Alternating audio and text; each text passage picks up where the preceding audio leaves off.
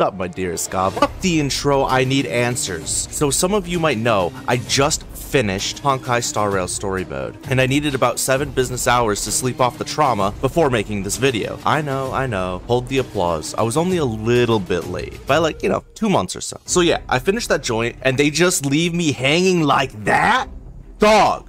You mean to tell me that my new friend is just going to up and lie to my ass and then be all like, I sincerely wish that this will be our last time meeting. Farewell, nameless. Like, bitch! What do you mean, Hoyo? How are you gonna leave a cat hanging, bro? I loved you, Dan Shu. I thought we were tighter than elastic and plastic, girl. I thought you were my ride or die. I ran your little errands like a donkey for a carrot. Then my dumbass lets you live, and all I get is a middle finger wrapped in bacon that I'm most definitely allergic to? Yeah, let's not even pretend for a second that cutting the story at this point was acceptable. I don't need sleep, I need retribution. Dan Shu? More like that shoe about to be so far up your ass it'll come out the other side of a wormhole, spiraling into Miles Morales' dome and into the Spider-Verse 3, you feel me? At least Cocolia had the common decency to try and fuck me while I was sleeping.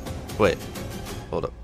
At least Cocolia had the common decency to transform into Multiphase boss in an attempt to erase me from existence like my dad on his way to the local figurine shop. Now I knew something was fishy with this bitch the second she started hollering at a little girl that was trying her best. I mean, I get it. Tough love can set someone up for success if they are the type of person to be receptive to it. But this little girl has the emotional fortitude of a paper mache elephant, you get me? Don Doodoo wasn't just out of line. She ran out of chalk with how far in she went on this little girl. Do that shit on Twitter and your quest for abundance be canceled before we even get to finish pressing send wait. Now I'm not angry, I'm just descending into fucking madness right now. Malding even. You mean to tell me that I, the Stellaron infused baddie badass, helped your dumbass out of goodness of my heart just for you to drive a drug-induced steak into it? The drug-induced steak being whatever mall you served up on a silver platter from my goofy looking stupid raccoon tanuki face. I knew it was a trap, but I trusted you! Now what? Am I immortal? How long will I be stuck here waiting for answers? Next time I see you, I just want you to know it's kuru kuru on site for you and your hippie friends. At least I have the Kafka banner to look forward to.